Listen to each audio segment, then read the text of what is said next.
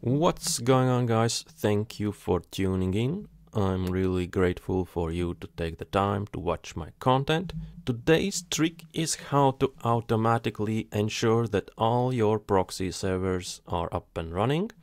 The solution can be applied starting with Zabbix version 4.2 and it's based on Zabbix API and the API procedure get proxy list. In order to succeed with this lab, it will be required to have an active session ID already running. Please check the video description on how to have that. And now with the explanation why it works. I have running here a template which consists of one discovery. The discovery is utilizing an HTTP agent item which is actually posting a JSON request against Zabbix API and in the response it receives a list of all proxies which are currently attached to the instance.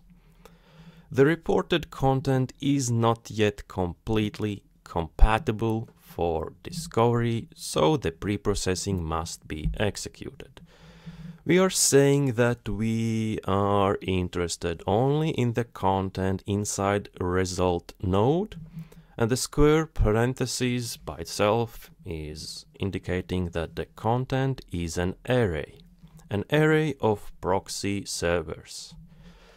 Under the LLD macro section, we need to do the binding from JSON tree to the LLD macro.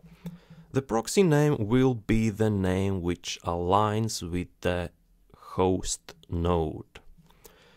Now we can have an item prototype. It's an internal Zabbix item which will collect an indication when the proxy was accessed for the last time.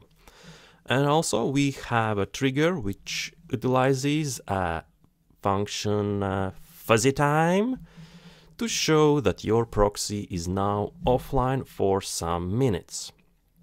The macro proxy fuzzy time is configured in template level and it expands to 3 minutes.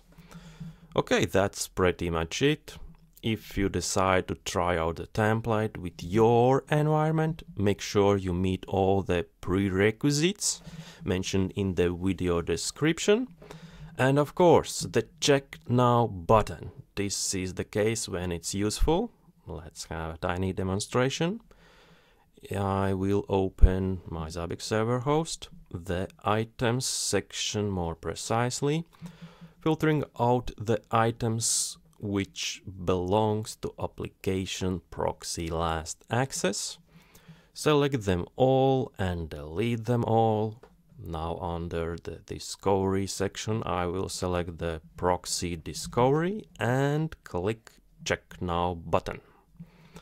I will go back to my previous tab where I did delete the items. You see the item list currently is 510 and if I click again on the items it shows three more and I'm having again items which belongs to application proxy last access. Alright, that is all I wanted to share today. The template is available through the video description. In the meantime, remember to stay creative and I see you next time.